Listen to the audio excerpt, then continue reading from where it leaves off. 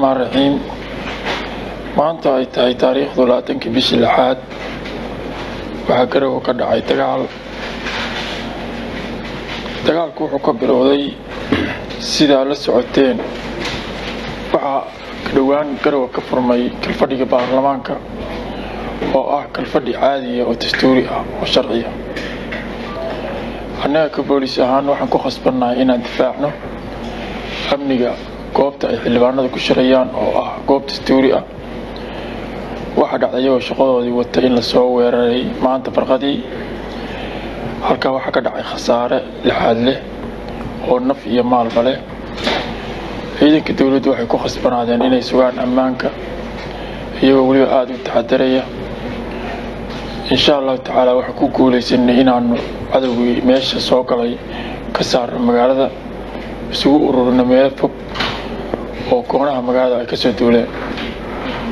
Lagana qabto gaadiid dagaal iyo maxaabiis iyo hub intaba. Waxaa ugu baaqaynaa dadweynaha reer puntland gaar ahaan kuwa caasimada degan in dagaalkaas hadda uu istaagay. Xaaladdu ay caadi tahay dadku ay isdejiyaan waanu ka xunnahay wixii meesha ka dhacay. Eedda anagu ma lihin dowladda waa lagu soo duulay. Ciddii ka dambeysay iyo cid kastoo ku lug lahaydna.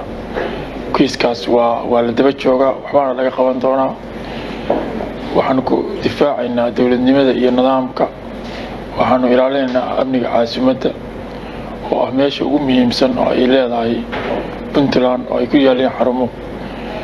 Runtiina wax kasta oo la rabay in wax lagu xaliyo lagu xallin karay iyo dadaal kastaoo nabadeed waanu gallay waxaanu hor fadhiisannay annagoo ah wasiiro iyo mas'uuliyiin isimada ugu waaweyn gobolka.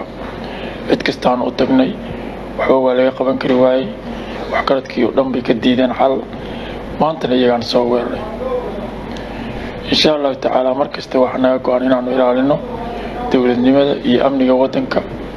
Innagoo og duruufta ay puntland maanta ku jidho. Annagoo og cadowga badan aan leenahay. Annagoo og ceeb inay nagu tahay in maanta dagaal halkaa ka dhaco haddana waxaan dadka reer puntland u sheegaynaa inay u dulqaataan wax kasta oo dhibaataa oo yimaada. Haddaanu annagu nahay ciidamada ammaanka waxaanu u dhaqmaynaa si mas'uuliyada ku jidho. Wax kasta oo naga horyaa isku dayaynaa xal inaan keenno laakiin maanta waxaan caddaynaynaa in aan wax kasta oo xal ah wax kasta oo mataqaanaa lagu baajin karo wax aanu samaynay. Mana aan hor istaagi karin dastuurka iyo sharciga waddanka waa ogtihiin in doorashadii gobol degmooyinka qayb la hor istaagay annagoo dhibaato ka carar aan joojinay doorashadaas. Maantana waxaanu ku soo weeraray golihii dastuuriga ahaa ee kalfadhiga baarlamaanka dowladda puntland aada iyo aad baa umahadsantihiin dadku ha isdejiyaan isu socodku waa furan yahay magaalada dib ha lagu soo noqdo ciddii ka hadhay dadkaas gardaraa waxaan ugu baaqaynaa inay nabad ku joogaan waddanka dhibaatada iska daayaan qoryaha iska dhigaan ummadooda ka mid noqdaan kiisi siyaasi wax doonaya oo sharciga waddanka iyo dastuurka u yaalla iyo qaynuubka iyo dadweynaha codsigooda iyo rabitaankooda wax ku raadsado. Waxaan aada ugu hambalyeynayaa dadweynaha reer garoowe oo nala shaqeeyay maanta oo ciidamada la jirsaday oo ku faraxsanaa in la saaro dadkii soo duulay oo ciidamada amniga dariiqyada biyaha u keenayey oo dumarkii mashxaradayey isbitaaladii la shaqeeyay dadka dhibaatada gaadhay maamulka degmada iyo gobolka oo dadaalka qayb nagala ahaa madaxweynaha oo dulqaad badan iyo mataqaanaa odaynimo iyo mas'uuliyad. Aan marra la odhan doonin ama lagu xaman doonin inuu eed ku yeesho ama ciidamada admigu ay eed ku yeeshaan. Maanta wixii halkaa ka dhacay. Dulqaadka intaa leeg sameeyey aada iyo aad baan idinku mahad celinaa dhammaan. Bismi illaahi raxmaan raxiim bismi illaahi raxmaan raxiim maanta waxaan halkaan ka jeedinayaa baaq baaq nabadeed. Ninbaa waxaa laga sheegay lababa waa is saarayo laba tagogood isma saarin. Maanta caasimaddii puntland ee garoowe inay maanta sidaas dagaal intaa la-eg uu ka socdo aad iyo aad baan uga xunnahay haddaan nahay ummadda reer puntland gaar ahaan ummadda reer garoowe. Waanu cambaaraynaynaa waana ka xunnahay wixii meeshaa ka dhacay. Waxaan halkan baaq uga dirayaa madaxweynaha puntland. Madaxweyne waxaa la yidhi madax meel ka sarraysa oo la salaaxaa ma jirto. Waddankan adaa madaxweyne u ah adaa laguu dhaariyey adaa maandheed u haysta niman mucaarada oo muxuu ahaay aan maandheed u haysan inaad maaragtay yani magaalada dhexdeed kula dagaasho oo magaalada dhibaato intaas la eg ay ka dhacdo caasimadda ahayd oo weliba ah laba caasimadood oo isi saaran oo caasimaddii gobolka sool laascaano iyo garowe isi saaran ay maanta halkaas muxuu ahaaye dagaalkaasu ka dhaco oo dhibaatadaasu ka dhacdo aad iyo aad baan uga xunnahay madaxweyne dagaalka adaa jooji kara dagaalka jooji xalka nabadda adigaa haya xalka nabadda ku soo dhowow nimanka mucaaradka oo aad siyaasadda isku haysaanna wada hadla isu imaada gacan u fidi.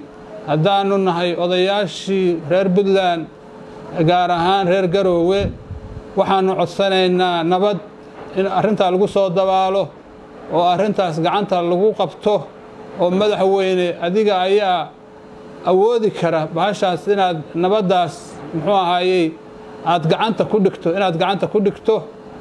Baanu kaa codsanaynaa madaxweyne. Waxaanu maqlaynaa dastuur baa laysku hayaa. Dastuur baa waa la furayaa iyo la furi maayo laysku hayaa. Hadda ka hor xilligii cabdiweli sidaasoo kale ayaa buuq uga dhashay dastuurkaas in la furo dabadeed markii buuqi batay waa la joojiyey. Waxaanu kaa codsanaynaa madaxweyne inaad joojiso sidii cabdiweli u joojiyoo kale in adiguna joojiso oo go'aan raganimo leh oo geesinimo leh oo hoggaamin leh inaad qaadato oo aad naga joojiso dastuurkaas baanu kaa codsanaynaa. Haddaannu nahay ummaddii reer puntland waxgaradkii inta maaragtay nabadda jecel saaxiibulcaqliga haddaannu nahay waannu kaaga habsannay waannu kaaga habsannay dastuurkaas naga jooji naga jooji nabaddana ha lagu soo dhowaado nabadda ha la qaato. Madaxweyne waa adiga saasaan ku leeyahay. Wahagaag daawadayaal waxaan ku suganahay magaalada garowe ee caasimadda puntland oo afartii saacadood u dambeysay dagaal toosa uu ka socday. Taasoo u dhexeeyey ciidamada taageersan mucaaradka iyo kuwa dowladda dagaalka ayaa bilowday kadib markii baarlamaanka puntland u codeeyeen in la furo dastuurka kadib soo gudbintii xukuumadda ee furitaanka dastuurka. Arrinta dastuurka furitaankiisa ayaa in dhowaaleba deegaanada puntland ka ahayd arrin xasaasi ah. Saakana waxaa muuqatay in garow darteed ay xabad uga dhacday. Khasaaraha la soo warinaya ayaa gaaraya ilaa dhowr iyo toban ruux oo dhimasho ah. Tiro intaasi ka badanna markaasi waa dhaawac. Siday noo xaqiijiyeen cusbitaalada kala duwan ee magaalada ku yaal oo ugu horeeyo cusbitaalka guud ee magaalada garowe baaqyada dhilada colaadda magaalada garowe ayaa isa soo taraya. Isimada dhaqanka oo marjaca loo laabta puntland ayaa durbaba bilaabay inay ku baaqaan nabad kuwana ay galaan. Xalka ugu dambeeya in xabadda la joojiyo.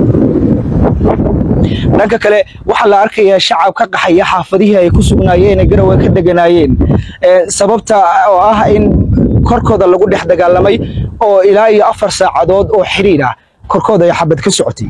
Xaafadaha agoos iyo sidoo kale xaafadda halgan ayaa ka mid ah xaafadaha ay shacabku dhibaatadu ka gaadhay. Waxaa jira guryo markaasi hanti burburtay oo khasaare badan u gaaray. Baabuur ayaa gubatay.